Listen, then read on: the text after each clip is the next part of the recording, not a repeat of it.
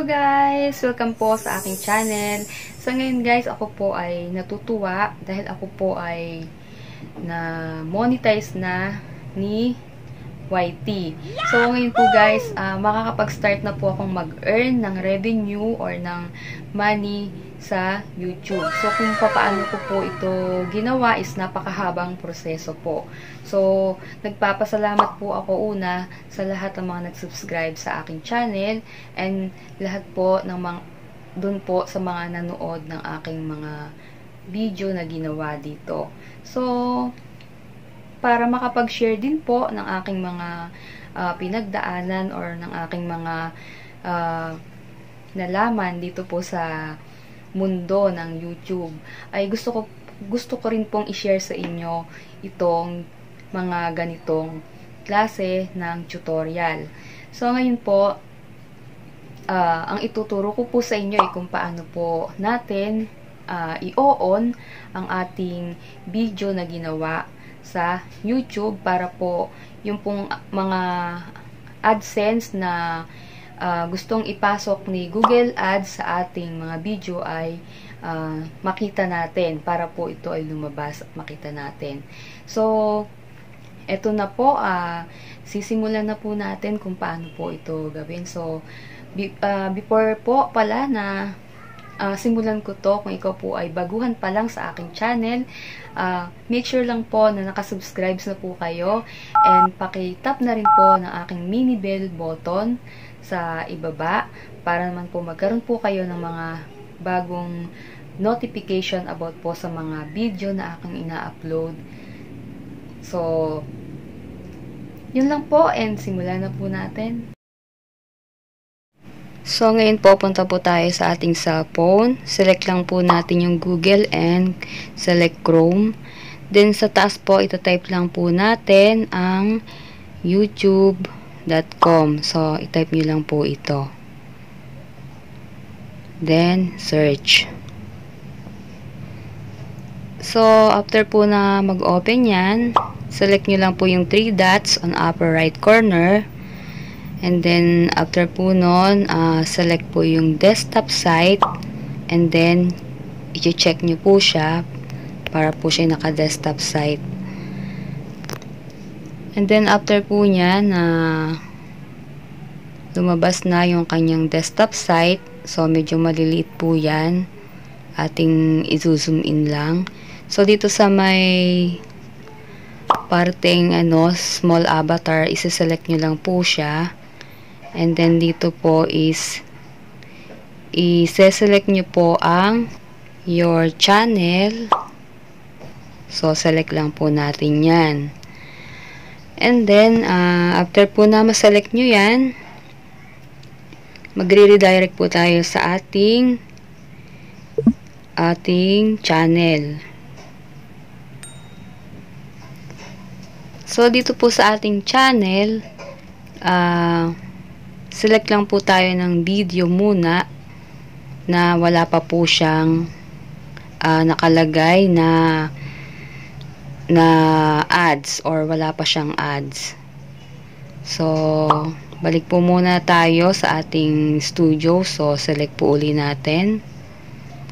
And then, dito po, after po na ma-select yung studio, select nyo lang po yung ating channel content video. So, dito is mag e-edit na po tayo uh, para po malagyan natin ng ng ads ang ating video. So, dito po, uh, zoom in lang natin. Makikita nyo po yung monetization video. So, ito po, isa-select po natin one by one. And then, i-on po natin ito. So, pagka-on po natin, i-click lang po natin yung save para pumapasave po ito at magkaroon na siya ng ads. So, once po na na-save po natin to automatic magkaka-ads na po siya. So, dito po, kailangan po na ikaw ay matyaga, isa-isahin mo po ang pag-on ng inyong mga video na ginawa para malagyan po ito ng mga ads. So, ayan po. Iisa-isahin lang po natin yan. Lalagyan po natin siya ng ayoon lang po natin. So, pag na-ayoon na po natin lahat yan, uh, pwede po natin itong i-check sa ating uh, channel kung meron na po itong ads na nakalagay. So, try po natin. Punta po tayo sa ating channel. So, ayan po. Uh, pipili po tayo ng videos na ating titingnan. So, ito na po. So, ayan guys. Yan po yung kanina binuksan ko na wala pa po siyang ads. Nung mayon na po natin siya, ito po, automatic po, may ads na po na lumabas sa aking video. So, yan na po yung simula para po magkaroon po tayo ng revenue sa YouTube. So, kailangan po kung meron na po tayong ads na ganito, so sana lang hindi po ito i-skip ng ating mga pumupunta sa ating channel. Kasi po uh, dito po nakasalalay ang ating magiging revenue kay YouTube. So dito po sa ads nakasalalay and then sa mga uh, views na pumupunta sa ating channel at nanonood sa ating mga videos. Kaya sana nga lang po is lahat po ng manood ng ating videos ay hindi po nila i-skip ang ating ads. Kasi dyan po nakasalalay ang ating income sa YouTube. So, dyan po tayo makakaipon kung sila man po ay nagpatuloy ng panunood sa kanilang ads. So, ayan po. Bali, dalawang ads po yung nakalagay dito sa aking videos na mga dapat malaman ng isang dealer system owner sa TPC. So, two videos po yung nakalagay dito. So, dito po, uh, kung mapapansin nyo po, medyo mahaba po yung ads niya. So, depende po kasi yon sa haba ng ating videos na ginawa. Uh, kapag may 10 minutes, uh, 10 minutes pataas, so mas marami pong ads yung pwede nilang mailagay. Pero kung siya po ay 10 minutes below, uh, almost 1 to 2 ads lang po yung maaari nilang ilagay dito. So, kung gagawa po kayo ng video, mas much better po kung uh, 10 minutes pataas po para may ilang video po na pwedeng ilagay dito. So, ayan po. After na matapos po yung dalawang ads, babalik na po siya sa dati dun sa kung saan po yung videos mo na may pinapaliwanag ka. So, may isa pa pang way para mag-open po tayo ng ads. So, punta po tayo sa YT Studio Apps. So, ituturo ko na rin po sa inyo to kung paano gawin. So, dito po, ah, uh, gagawin nyo lang po dito, magsiselect ka lang po ng video na wala pang ads na nakalagay. Or kung mapapansin nyo po, merong kulay green na dollar sign So, ito po may ads na siya. And then, yung wala pa pong green, wala pa po siyang ads. So, magse-select po tayo ng isa para i-on natin. So, i-click natin to. And then, uh, i-click nyo, isi-select nyo lang po yung parang mini pen dito sa parteng taas. So, pindutin lang po natin yon para dun po tayo mag-edit. So, after po na ma-click na natin yan, uh, punta po tayo sa monetization. So, select lang natin yan. So, kung makapapansin nyo po, yung monetize with ads, uh, i-on nyo lang po yan.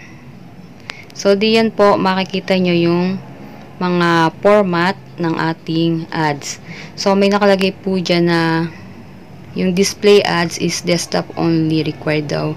So, ang required po sa atin yung sa overlay ads And then yung sponsored cards. Ito pong mga naka-on. So, dapat mga naka-on lahat po yan. Skippable video ads and non-skippable video ads. So, yan po. I-on lang po natin. Yan. So, pagka-on lang naman po natin automatic, lahat naka-on na rin po siya. Then, after po nyan, i-click nyo na lang po yung save. Para po, mapasave na po siya doon. So, after po yan, back po tayo sa videos. And then, kung mapapansin mo po, hindi pa po siya naka uh, green. So, ang gagawin lang po natin dyan, para mag-green siya, i-refresh lang po natin siya. So, i-refresh lang po natin ng 2 times or kahit 1 time lang. Pero, much better po kung 2 times nyo siya i-refresh. So, then after po nyan, balikan nyo po yung inedit nyo na video na lalagyan ng ad. So, ayan po. Meron na po siyang uh, green na nakalagay doon sa dollar sign. So, ibig sabihin po niyan, meron na po siyang ads. So, yun lang po yung uh, gagawin natin para po tayo ay makapaglagay ng ads sa ating mga video. So, select ulit tayo ng isa. So, ganun po yung gagawin natin. Then, i-click lang natin yung pen na maliit. And then, sa monetization, click lang po natin. Then, i-on lang natin yung monetize with ads. So, on lang po natin yan. So, ganun lang po uli. After po yan, click lang po natin yung save. So, isi-save lang po natin siya. So, after na ito po ay ma-save na po natin, babalik na lang, ibabalik po uli natin ito dun sa ating videos para i-refresh. So, balik po muna natin.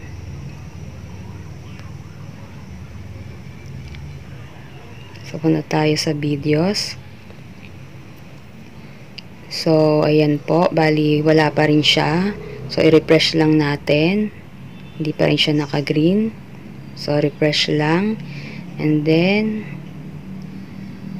So, ayan po. Uh, naka-green na po siya. Ibig sabihin po, naka-on na yung kanyang ads. So, guys, abangan nyo po yung gagawin ko pong kasunod na video kung paano po kayo makakapag-open ng inyong Google AdSense account after po na kayo ay ma-monetize sa inyong channel.